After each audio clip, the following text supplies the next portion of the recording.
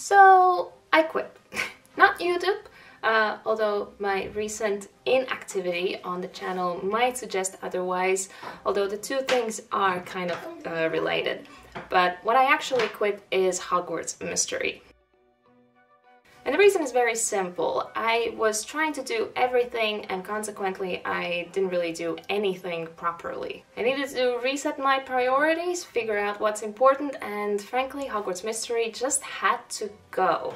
And you would be surprised how much time actually opens up for you once you stop playing.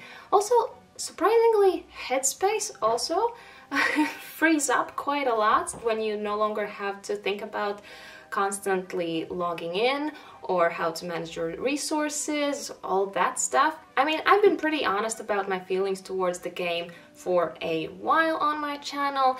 It's not the worst game, and if anything, if you want regular new content in the Harry Potter universe, then at the moment it's still your only option because whilst Hogwarts Legacy is amazing and all and great and you know all of that, you finish it whether in one house or all houses, which some people have already accomplished, then it's kind of done. You finish it and there's there's nothing else. You have to wait for a DLC that has not been promised or a sequel that, well, kind of has been suggested. And as for Magic Awakened, unless you have the original Asian version, it's still not coming out globally anytime soon, judging from their lack of PR. So yeah, Hogwarts Mystery is still a very valid option for people to play and if you do like the story then by all means. I personally never really enjoyed the story that much. I played it out of habit and now that habit has to go. Now, will it affect this channel? Kinda yes, but not really, because I will still make Hogwarts Mystery content. Before I quit, I was actually uh, playing it quite regularly because I was trying to catch up. I wanted to reach year 8 by the time it actually comes out, which judging from some news-ish on the internet I've seen might be in June. June 7 I think is the date that I saw mentioned as far as year 8 release. Um, I got to like year 7 chapter 30 I think. So I wasn't that far off but it would still require me to constantly play and that was just not gonna happen. Um, so as far as me wanting to provide you with the latest content when year 8 comes out, that might be a little bit tricky uh, but until then, I do have a few video ideas that I would like to do.